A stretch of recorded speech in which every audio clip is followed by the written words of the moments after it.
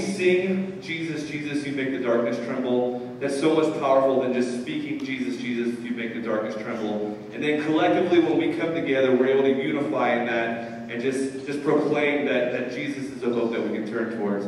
So why don't you join us as we sing some more songs.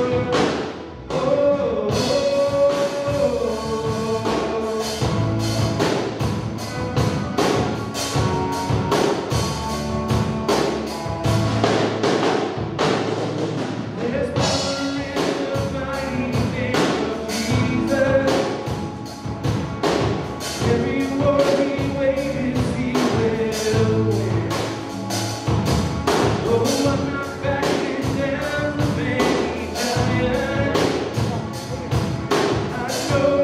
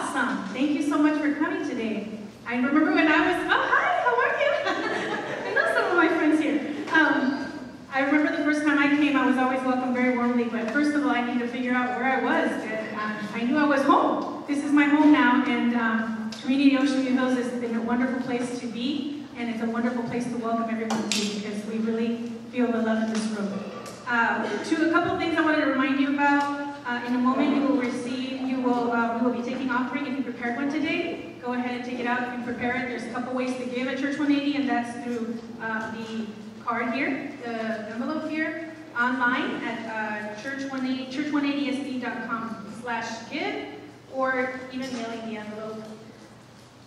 Uh, everything we do here at Church 180 and everything we do for the community, it inspires hope, and we're able to do these things through some of our offerings that we receive um, in order to inspire other people to really turn their life around. And, and this is just one of the ways that we do that.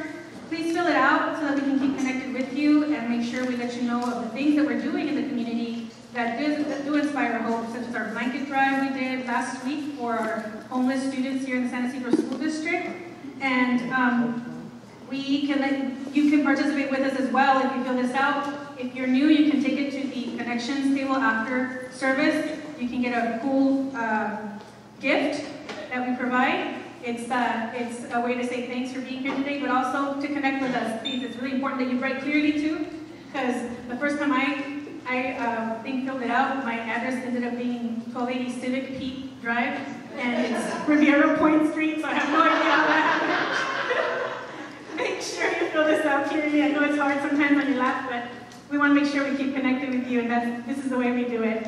Uh, please hang on to it until after service. Um, in the info center, you'll be able to get this. So just a second, our welcome team's going to pass by with um, the community buckets. I think they may have already, and, and get that uh, the information from you and any offers that you may have today. So thanks again. Welcome for being here. After service today, we will have a prayer at that corner over there. If you feel like you need prayer, you can um, write it here in our card as well. But also come over over here. Bernie's showing us the or Bernie Benna White is showing us the placard where we will all be um, praying together. So please feel free to join us if you feel you need um, some cheerful delight today and some hope. Thank you so much. Bienvenidos familias de Church 180. Here's what you need to know this. Youth Church 180 is a special night in which our pastor Tony and his beautiful wife Kelsey host a dinner for new members. At this event, you will have an opportunity to learn about Church 180 and the heart, direction, and dreams of our church. Tony and Kelsey will be sharing their story and facilitating a conversation about the future. The next Future Church 180 is tonight at 7 p.m. Be sure to check Future Church 180 in your connections card if you wish to attend. Thank you so much for your participation in the blanket project for the San Ysidro School District. Together, we were able to make a huge impact. Check this out.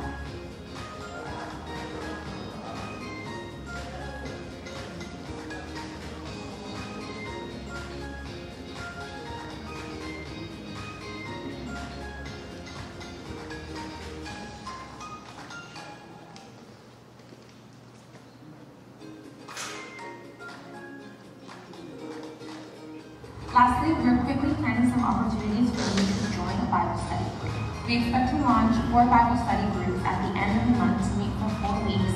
This is a great way for you to jumpstart your relationship with Jesus through His Word. And also, this is a great way for you to meet, mingle, and make new friends. Stay tuned next week as we reveal meeting times and locations for these groups. We genuinely are glad that you're here, and we hope that you have an incredible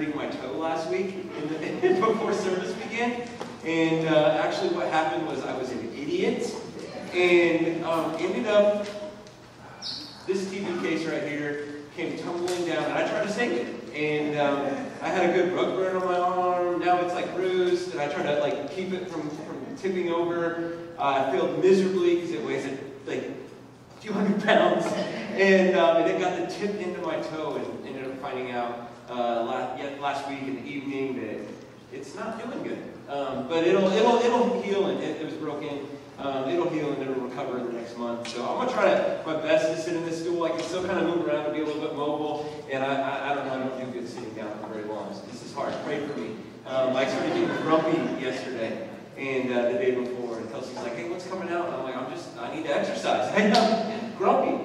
Um, anyway, you don't need to know that. Um, what you do uh, need to know though is this. I this morning, um, I just I, we, we got you know a few more people in to help beef up our setup tear down team, and uh, this morning we had a ton of us right here at a little bit after eight, um, and so many people like just accomplishing everything that you see that's set up around here. Well, I'm just like wheeling around a little scooter, like kind of giving orders. And, and I guess my point is this, okay? The thing I'm trying to say is this, is that um, we're, we're, we're at week three. This is week three of this church. And, and, and this is a good, healthy reminder for me, and this is a good, healthy reminder for all of us. This church isn't about me. It's never going to be about me. It's about Jesus, and it's about his community um, coming together to bring him glory, to worship him, and to point towards him. And that's what it will always be about. It's just a great reminder. And I felt like I needed to just get that off my chest from the get-go this morning um, as we uh, continue on in week three of this series. I want to point out a couple more things to you before we, we, we launch in, um, because I don't think we had communicated with Raquel where the info table would be um, for after the service, if this is your first time, um, or you, you want to turn in a connection card and, and, everything like that. It's in this back left corner today. It's usually very clear in an info center out there, but rainy day today, so we're like, okay, let's make do, let's figure this thing out and, uh, and so it'll be back there. The other thing I want to mention to you is that 10 minutes after the service today, stick around. Don't just go right home. Stick around 10 minutes after the service today. You saw the video of the baptism. We're going to have another baptism today as going to get the life of Jesus and uh, baptized. So um, that's exciting. Okay, I want to say two things before I pray and we get going. Okay, we're in this series called Turn Towards. Okay, turn towards dot dot dot. And what we've said from the get-go, and what I will say every week until we move on to a new series, is this, is that this series is built on two ideas, okay? And the first one is this, is that we are all one turn away from home. I believe that every single one of us is, is one turn away from home. Whether that's a wholesale, I was going this direction and Jesus is over here and I'm completely turning and, and, and turning towards him with my life and giving my life to him, or, or whether that be certain aspects and areas of our lives that we're running from Him, we need to take that area and turn back towards Him for help. And we said that, that's the, the first thing. The second thing is this. Uh, the second thing is that turning towards anything, man, I'm having a hard time understanding, um, and I will. Um, turning towards anything means turning away from something. Literally, you can't turn towards two opposing things at the same time. I mean, it's just common sense. And so we just want to recognize that up front and say that as we keep plowing through this series, uh, we've said the first week, turn towards someone greater, turn towards Jesus rather than someone lesser. And the second week we said, turn towards becoming over and rather than turning towards escaping. And, and today we're going to talk about this idea of turning towards a calling. Uh, but before we jump in, uh, I want to I want to pray for us to get going. So Jesus, uh, we thank you, thank you, thank you that we have the opportunity to freely worship you in this room this morning. And I pray that we don't take that for granted. Uh, I pray that over these next few moments, that God, that, that you just sort of move me out of the way, that you speak, Lord. That you open your word to us, and that you, uh, uh God, impress on our hearts and impress on our minds what you want to be communicated. Um, so, uh, God, we just put all of our hope and all of our trust in you in this moment. It's in your name we pray, Jesus. Amen. Okay, so I gotta say this. So today we're kind of we're, we're, working through the book of Mark. If you've been with us, and uh, we're working through the first chapter still, and we are actually only on verse 14, and it's our third week.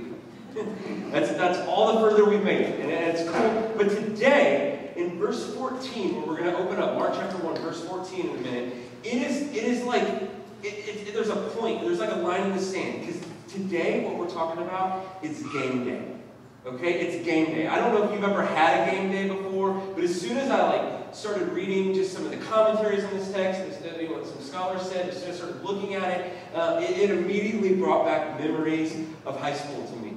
And there's one specific game day that I remember. It was in 2002, and it was our homecoming game for football against Pawnee, the Pawnee Indians. And, uh, and I remember that day, uh, so many different elements of it. I remember I had this buddy, his name's Matt, and I called him Huckleberry Finn because he was always into out, outdoor stuff, so he was my buddy Huck. And, and Huck, that day, had secured um, a, a Jeep Wrangler from his uncle. And, he wasn't 16 yet, but, but, but I was, and he was like, okay, my uncle said you can drive uh, the Jeep for the day. And so we took the top off, and I remember that morning putting on my, my game day jersey, because you wore your game day jersey to school. And then I don't know why, this is the stupidest thing in the world. I, I get it. But I wore a pair of overalls with one of them undone over, over my jersey and, um, and, and, and drove this Jeep around all day long. And um, I, I'm, I'm not recommending this. I think I skipped classes that day. Um, we were just so amped because it was, it was homecoming night. It was game day. And we weren't very good, but we won that game. and, and I remember everything down to the first carry um, that I had that night. And it was just memorable because it was go time. It was game day. And what we're looking at in the text this morning, as we get into verse 14, what I want you to see is that it's game day. It's, this is the beginning of the ministry of Jesus. Uh, last week we covered, the, or two weeks ago, we covered the fact that this man named John the Baptist went before Jesus and he prepared the hearts and the minds uh, of the people for the message of Jesus. He was what was called a forerunner. He was preparing and paving the way. Last week we talked about Jesus' becoming time as he, as he was baptized by John, he was affirmed by the Father, and he went into the wilderness for 40 days to become who he needed to become for the ministry the road ahead.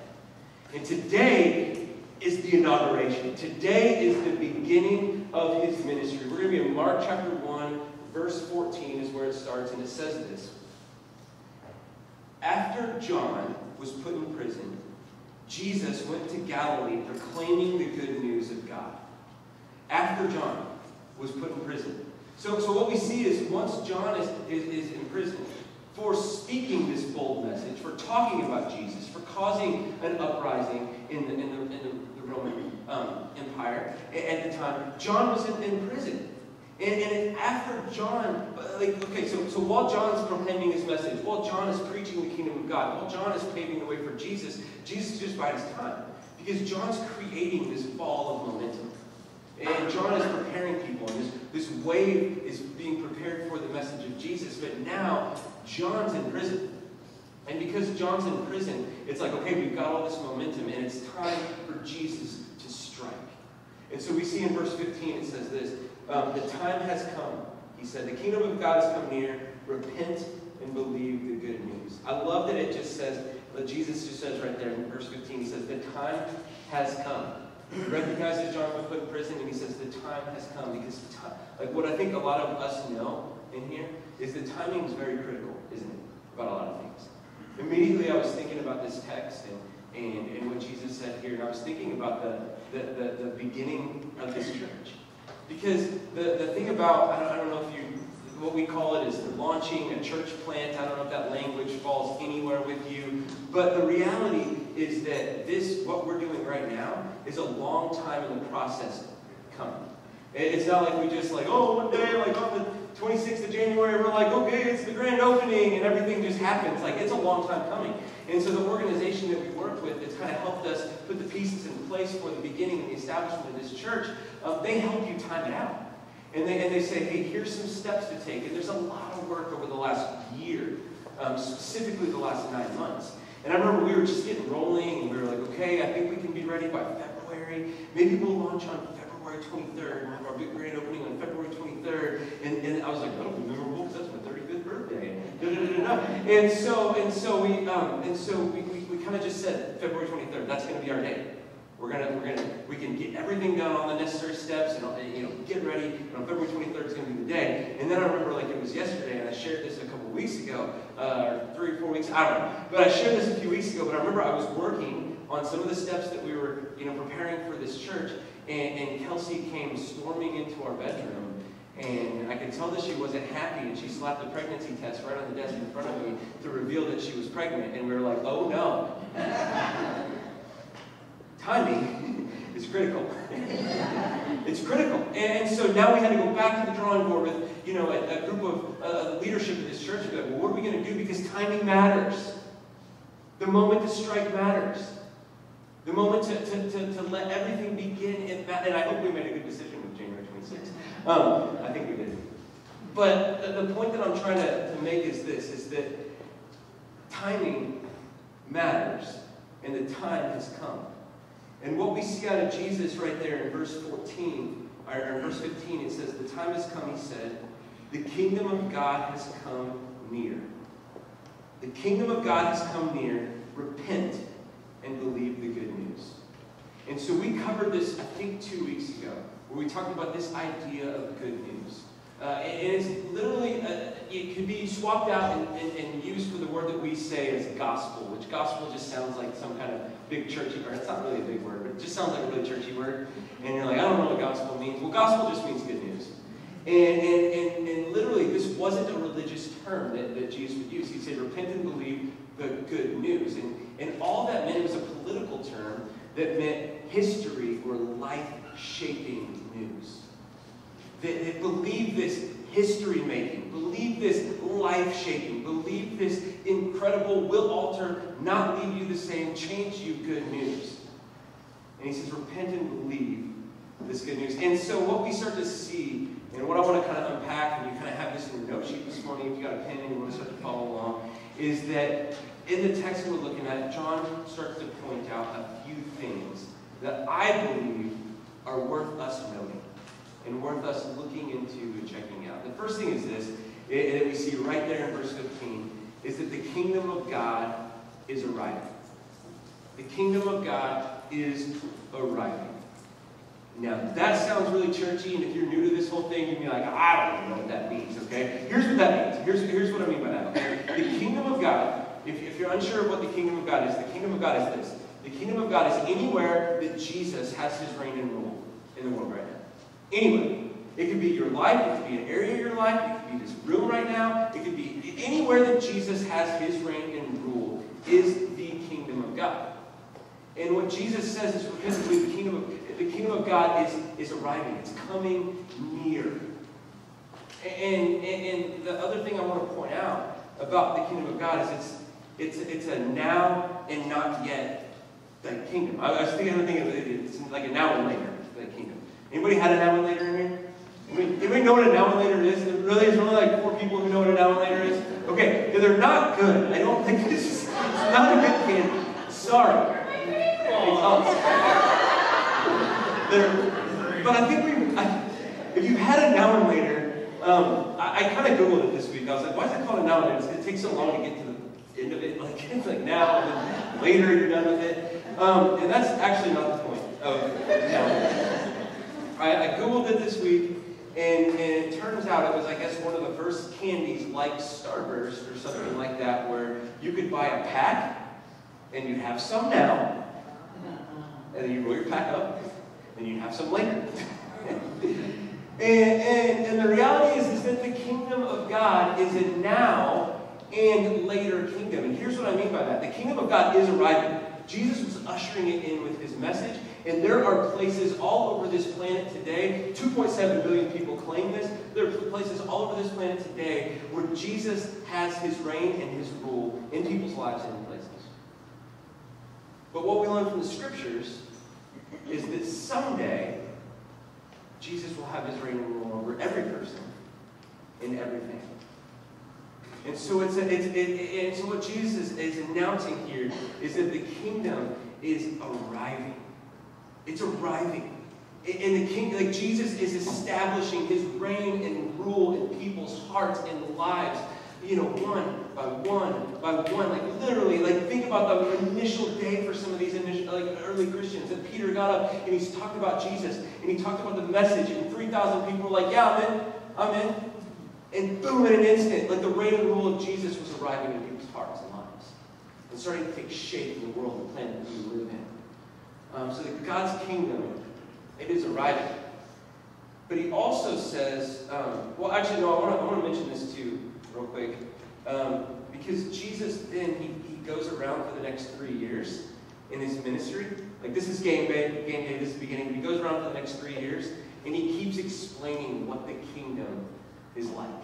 What the kingdom of God's like. I put a few of them in your note sheet there. Just a few of the ones that are in the book of Mark. There's actually a lot more in the book of Matthew, Matthew, Mark, Luke, and John in the Bible. Uh, but I put a few from the book of Mark, and it's where Jesus would be teaching. And he, he'd have a group of people around him. He would say, hey guys, the kingdom of God is like this. It's like a mustard seed. That, that, that though it's the smallest seed, that, that, that you, you could find. That when it starts to grow, it just kind of takes over everything. and, and, and, all the birds can, can find a place that. And, and, and Jesus explaining, he's, he says, the kingdom of God um, is like this. And you can, you can check those out. Mark chapter 4 and Mark chapter 10 is where a few of those are like. And I would love for you to just check those out on your own time and, uh, and explore those. And explore the teachings of Jesus where he talks about the kingdom, what the kingdom is like. But one of the first things we realize is Jesus says the kingdom is coming near. But he also says this repent and believe. Because the kingdom is drawing near. And, we've talked about these two specific things a little bit. We've talked about repent a lot here. Repent is like, I don't know, it's kind of this really churchy word. and, and, and what, what, but we, we talked about this even last week. All repent really means is what's on many of your guys' shirts. 180. 180. And, and, and repent, what, what repent actually means is I was going this way, and now I'm repenting and turning towards Jesus and the things that he has for me. But I, love that, that the writer, that Mark, in this specific case, he, he doesn't talk about repenting without talking about believing. Okay? Because uh, uh, uh, what he's trying to seal in our minds is that these two things go together. The, you know, I was thinking about it this week, okay? And, you know, uh, last Sunday night, and I was like, can you guys give me a cast?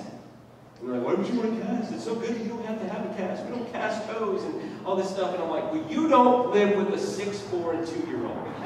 Okay? I'm not worried about me. I'm not worried about that. I am worried about my daughter stepping on my foot. It only happened once this week, and I was only a little bit mad.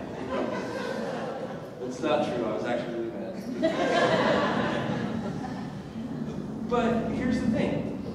Because I believed that it would hurt very badly if someone stepped on my toe, it caused me to do something. it caused me to protect it. It caused me to think differently. It caused me to like you know, do this thing a lot. And sit, you know. And then, and then, no, no, actually, one of my girls actually swiped it with her hand. And I was like, what are you doing?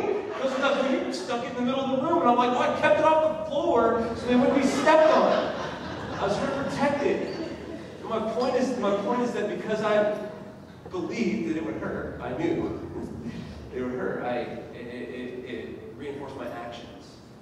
And I think the writer, Mark, is, is, is etching these two things in our mind that with a 180, with repentance comes belief. A belief that, that calls us into action. And I, I wrote it this way a, a couple times, but um, I mean, if you believe in something, it calls you to action. Whether that be a product or cause, a business, an ideology, a service, belief brings action. And in that day, Mark and Jesus alone, Mark and Jesus alone, was trying to get the people to repent from believing that some kind of social agenda or some kind of political agenda was going to save them. And he was trying to get them to turn like, no, the living God has come down as a human being, died, was buried, and rose from the dead again, and turn from all these other things that you trust in, turn from all these other things that you believe in, repent, and turn towards that good news. And Mark's trying to edge that back in, which kind of brings me to the second thing that I want to talk about this morning from that. And this one, this one I'm, I'm excited about. The kingdom of God has no dual citizens. The kingdom of God has no dual citizens.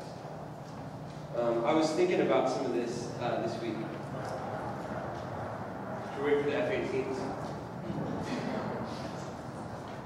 I was thinking about some of that this week, and I was thinking about my, my middle daughter.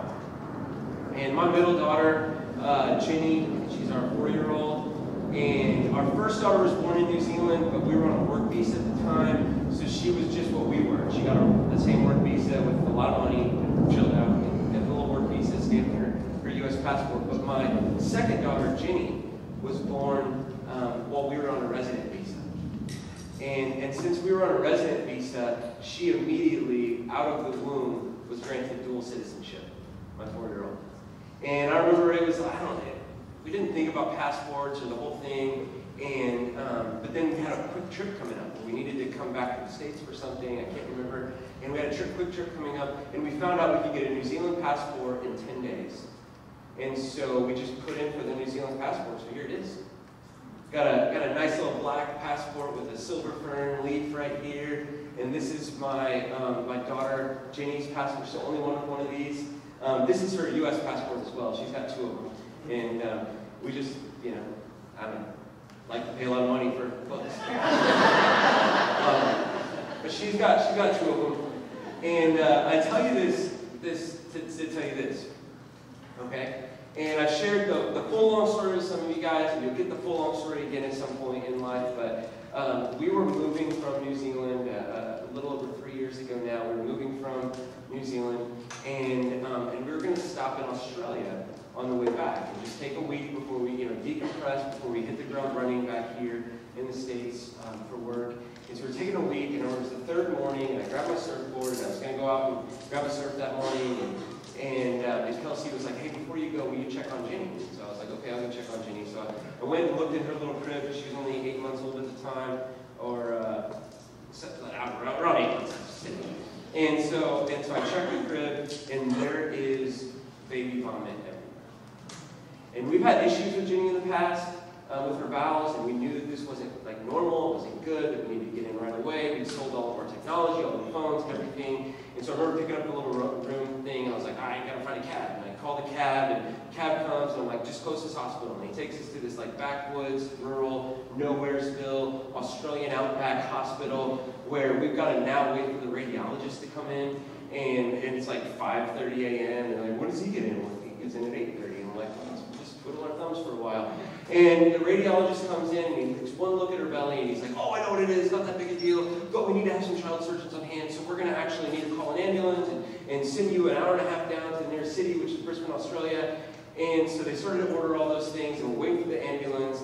And I remember they were like, okay, um, we need to get Laura. I don't know if her name is Laura. We're just going to call her Laura right now. And Laura from Revenue is going to come have a conversation with you um, about payment. And uh, I remember uh, I just looked at Kelsey and I said, honey, um, I don't know if it's going to matter, but when Laura from Revenue comes in, get out the New Zealand passport. And so Laura comes in, and she's like all trepid, and she's like, so I heard you guys are Americans. Um, just wanted to talk through some pricing with you for a minute. And uh, can I see a passport real quick? Kelsey's like, you go. She's like, oh, thank God. Oh, wow. Oh, and she's like relieved, like this breath of fresh, like, she's just like, whoo, your guys are good. Okay. And then she walks out. And she's like, okay, it's taken care of. And I was like. She's like, oh, yeah, yeah, yeah, we, we, we cover New Zealand citizens in emergency situation and, and vice versa. And we are like, no way. And we never saw another lady from Revenue. Ever again. I tell you that story to tell you this. I'm trying to make a point here. I think that many of us, in our faith and in our kingdom citizenship, try to play the dual passport card a little bit. Where we, you know, Sunday morning, this, pass, this passport works. I'm going to get out this passport, I'm going to come in and, and do the Jesus thing and, you know, ride the Jesus train and, and live for the kingdom of God and live as a, a citizen of the kingdom of God but then all of a sudden, you know, 8 a.m. on Monday morning comes, and it's like, hmm. we'll go back to the citizenship for a second. And I think you get the point that I'm trying to make here. And the point that Jesus is trying to make, and the point that Mark is trying to make from this passage is that with the kingdom of God, when there is a belief, when there's a belief that causes a 180 and causes a turn, it doesn't mean that you get to live as a dual citizen anymore. It means that we trade one in and we live for the citizenship of the kingdom of God. I hope that makes sense. Um, I, I, so, so re repenting, it, it literally is a turning away from one kingdom and a turn towards becoming a citizen of the kingdom of God. And the thing that I want to spend the remaining time of our remaining bit of our time talking about is how living as a citizen of the kingdom comes with a call. It comes with a call. And, um, and that's kind of our, our, our last break, or not our last break, but our next break. We've said every single week, we're building this church on some foundations. And the first, the cornerstone, the first brick is that we're building this church on the fact that Jesus is greater. And then last week we we said we're building this church on, this isn't the cornerstone, we're building this church on the fact that we are becoming people. We're not escaping, but we're with Jesus, like allowing him to help us become something different. And, and today that, that brick is calling. And that we're building this church on the fact that living as a citizen of the kingdom of God comes with a kingdom calling. And so I want to talk about that for a minute, but let's finish the, the text this morning as we do that. So verse 16, it says this, is Jesus walked beside the Sea of Galilee. He saw Simon and his brother Andrew casting a net into the lake. For they were fishermen. Come, follow me, Jesus said, I'll send you out to fish for people. And at once they left their nets and followed him. And when he had gone a little further, he saw James, son of Zebedee, and his brother John in a boat preparing their nets. And without delay, he called them, and they left their father Zebedee in the boat with the hired men and followed him. That's crazy, right? I mean, we read that, it's just like crazy because, you know, we, well, I think there's a bunch of things going on in my mind. I think about the fact that, uh, um, I, I, did, I don't know, anybody ever grew up going to like old school, Sunday school? Um, but I did. I was I went to old school Sunday school where they put a few of us boys in a class, and um, probably a couple girls. I wasn't into girls at the time, so um, Anyway. Um, the point that I'm trying to make is this. I just remember like the flannel graph was up there, and um, and, and there was always that super white Jesus, right? Like he was like super, he was like super white, and he had like the white like gown and the blue sash, and he was always like super skinny, and um, and then you know, and then it's like, and then here's the fishermen, and they're like these big burly like bearded guys, and, and, and you know, like it's almost like you need to make a voice for Jesus. I don't know if you've seen those vintage 21 videos. Um, you can YouTube that later, but it's like Jesus is just like, come on guys, and and and Y'all, the point that I'm trying to make is this. Is Jesus was a carpenter. Okay?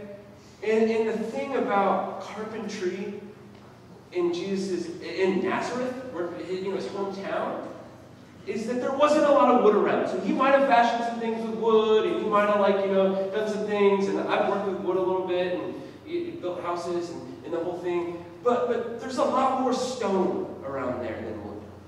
And so there's a good chance that Jesus was a chiseler. and that Jesus made things out of stone. And I, I mean, I've done concrete construction for a few summers, and I'll tell you what, like concrete construction does not leave you wimpy with like frail, like manicured, lotiony hands. It, it just doesn't do that. And, and so there's that thought in my mind, sorry I diverged, that's going on with that. But then there's also the reality that this is a small town. I'm from a small town. This is a small town. It's a rural town. And you've got two family businesses offering. You got, you got fishermen who fish for a living, and you've got carpentry and someone who makes things for a living. Small town. What's going on? Okay? And, and so, like, the, the reality is that these guys would have entered these professions because these, these professions would have been happening for centuries. And it's like, well, my granddaddy, my granddad, daddy, or whatever. And, and, like, and like everybody's done this for. And, and in hard times, we just work a little bit harder. And, and, and in good times, I guess we could take our foot off the gas. But these are family businesses that are happening, is what I'm trying to point out. And so there's a good chance, there's a good chance, I'm not saying it happened, but there's a good chance that these fishermen went to Jesus and his family for chisel goods. And that Jesus and his family went to these guys for dinner. And that they knew each other. And that they had a little bit of life experience, and that as John started to prepare the way in these first few verses, that whenever Jesus finally steps out on the scene, and whenever Jesus finally gives them the call, that it's like, oh yeah, with him. Yeah, sorry, Dad, see ya. And, and, they take off. And they go towards this kingdom calling. Um, and, and I think about that, and this is our third, third point if you're following along and you're taking notes. And this is where we have that brick um, this morning. It's the idea of turning towards a kingdom calling over a wandering. Turning towards a kingdom calling over wandering. And, and what we see from, from this, this text and what we see from this is that Jesus came along and he said, Come on, guys, follow me. We got a job, we got a mission, it's game day, this is the inauguration, we're beginning the ministry, we're starting, and we're going. And, um, and Jesus calls them to that. And I think that for us, when I look at the word calling and I look at the word wandering, uh, for so many Christians, for so many people who put their faith and, and trust in Jesus, um, calling is, is one of those things where, I don't know, but you're like me, and you're like, man, I wish I could have just been like a fisherman, and, and Jesus said, hey, come follow me. And I'm like, okay, I literally know what to do. Put one foot for the other and follow that guy, the human being, the, you know, Jesus who's, who's going throughout. And, and then we get to like the, you know, the, the, this day and age, and we're like, man, what does calling even look like for me? And, like, and I wrote down a few things because it's, uh, I think, you know, many Jesus followers will stress about what is God specifically calling me to do. I mean, do I work this job or do I work that one? Do I live in this town or do I live in that one? Do I live in this town community or do I live in that one? Do I do I do I do I go to do I give my kids these opportunities? Have them go to this school? Do do these things or do I do those things? And, and um, even to the point where we're like, man, do I go to this church or to that church? Do I be a part of this group or do I be a part of that group? I mean, which friends should I have? Only got 24 hours. And then the reality is that calling can be something for you, and calling can be something for me that's a bit paralyzing. So, like, I wish I just had a physical Jesus to follow in that. But then when it comes to wandering, I think we get that, right? We understand wandering. Like, calling is like one of those things that kind of stresses us out, like, what do I do? But wandering is something that we're all like, yeah, no, I do that. and uh, and I, I wrote it this way. We have a couple slides. But wandering is what we do as a result of not knowing we're living our calling. We don't know what to do, we wander. Uh, but wandering is also, I believe, the result of trying to pick up both passports. And living with one passport on a Sunday and one passport on a Monday, one passport on a Wednesday and one passport on a Friday. And I think wandering is the result of trying to live as a dual citizen. Um, so the question this morning that I have for us, that we're kind of just narrowing into, is how do we turn towards calling over wandering? How do we turn towards the calling from the King Jesus over with our lives wandering? And, um, and it's not going to be on the screen, but I want to kind of let you guys in on something um, that I just, it's so foundational to our church and what's going to be coming over the next few weeks and months Because Mark chapter 1, verse 17, um, in the English Standard Version, okay? Not the, the NI, we read out of the NIV, which is this New International Version of the Bible. And as many of you guys know, the Bible is like, the New Testament was originally written in Greek. And as I start to learn Spanish, um, or at least attempt to try, um, with my, I, I, keep saying I've got, got to learn because my girls are going to have conversations without me and exclude me from them. So um, I'm working on learning, and the thing that I keep understanding as I, as I, as I grapple with, with language is it's hard to convey something sometimes. And because uh, in one language it's hard to bring it over, but the more literal translation, which is the ESV, which we don't read out of because it's a little clunky and like hard to navigate, um, it says this. It says, I have it right here. And Jesus said to them, Follow me, and I will make you become fishers of men.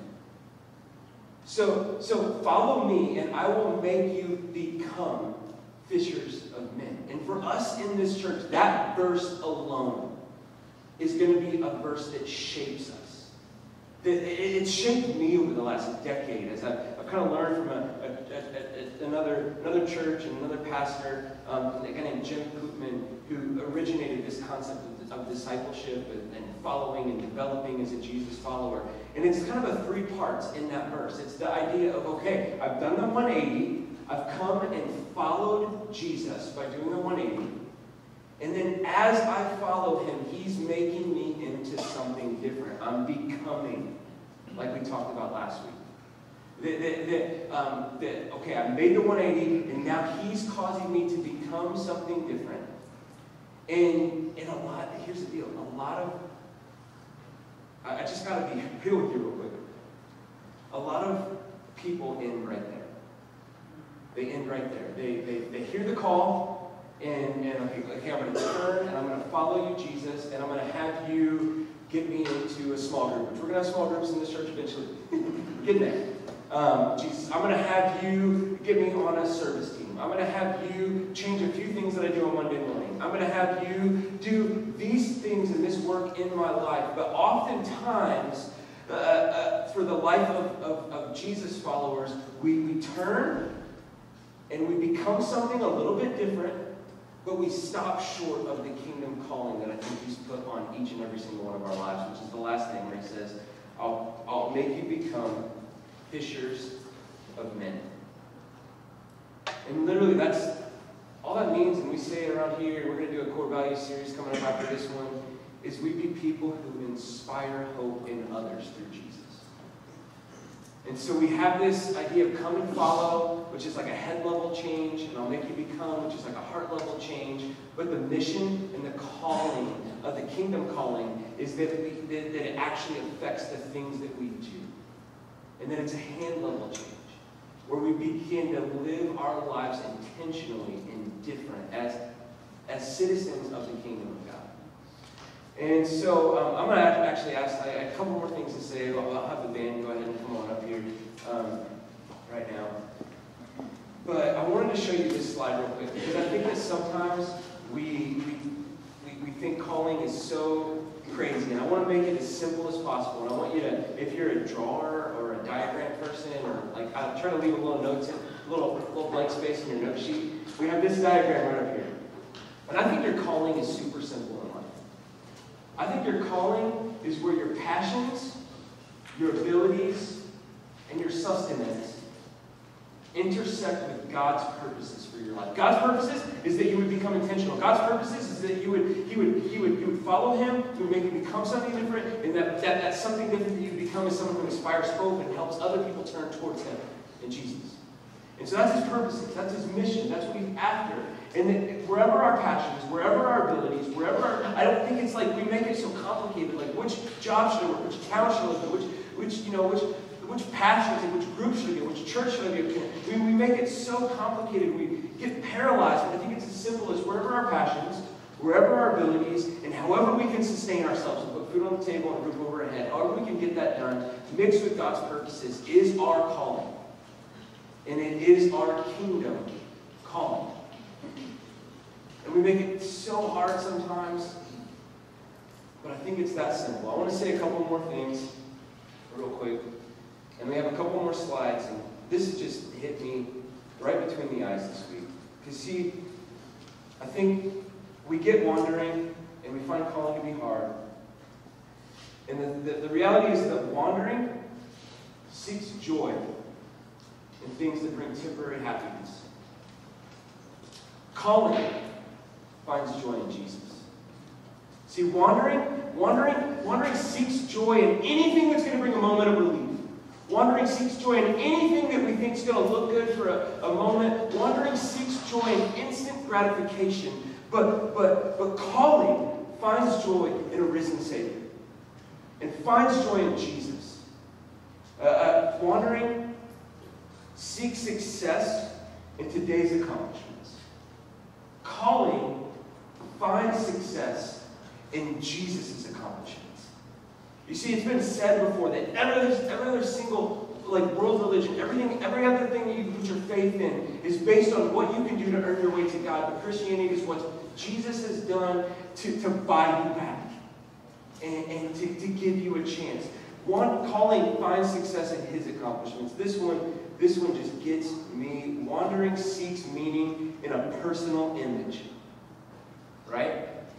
We live in an over Insta like my wife has been showing me this Instagram account this week that is cracking me up of showing the sad reality and state of the world we live in. And she showed me like this, I don't know, in, Instagram influencers, like fails or something like that. And people just doing the stupidest things to convey an image. And the account shows where things go wrong. But I think, man, how indicative of that is, is that of not only our culture, but what's inside of our hearts as we try to portray an image to the world around us. And I think that wandering will, will, will continue to make us chase after this perfect image that we can portray to the world around us. But calling, what calling does is it finds, it finds meaning in being conformed to his image. Into looking not like, literally, physically like Jesus, but, but, but learning to love the way that he loves, learning to treat people the way that he treats people, learning to, to, to hate the things that he hates, and being conformed to his image. Wandering seeks fulfillment and experiences. Um, we live in the, the age, like with Instagram and everything about image, we live in the age of experiences. I, I read an article recently about how many people tried to climb Mount Everest, that there was a traffic jam in 2019 and so many people died, but Mount Everest is becoming this routine experience because people are craving experiences for fulfillment. I'm one I, I Put me in love, climb Mount Everest. It sounds like a blast. But wandering seeks fulfillment in those experiences, where calling finds fulfillment in living on mission, in his purposes, living out a kingdom call. That's where calling finds fulfillment. And then the last one I'll say, and I'm going to leave you with this, is wandering seeks hope in places that it doesn't call home. Wandering seeks hope in places it doesn't call home. Because hope, we say turn toward hope around here. Hope lives in a kingdom call. You will never, like, like, mark my words, you will never find more hope than when you're living on mission with Jesus. You will never find more hope than when you are living out your calling in life. Because it supersedes everything else that could damage or destroy your life. It's just like the ultimate So I'm going to pray for us, and uh, um, as I pray for us this morning, we're also going to prepare for communion. And, uh, and basically, in the back here, uh, we've got some juice and some bread, and the juice is symbolic of the blood of Jesus that was poured out, and the bread is symbolic of the body of Jesus that was broken, so that we could be citizens of the kingdom, so that we could have a call, so that we could go into our Monday mornings, 8 a.m. tomorrow, so we can go into our jobs and we can know that we live with a purpose and that we have a calling and that we are a citizen of one kingdom, His kingdom. And so this morning, um, I just want to invite you to take that communion. I want to invite you to celebrate with us. If you're unsure about the whole thing, that's cool. You can leave it um, and, and stay seated. But as we kind of go into this last song this morning and uh, kind of close off this service, I want us to celebrate in this time, meet together. So Jesus, thank you for today. Um, I pray, God, that uh, that you help this to be a celebratory time, that, that we, um, God, that we can find purpose, fulfillment, and meaning in the calling that you've given us, God.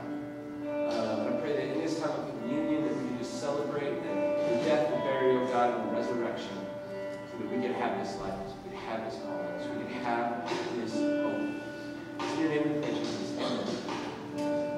So you can just go ahead and go out and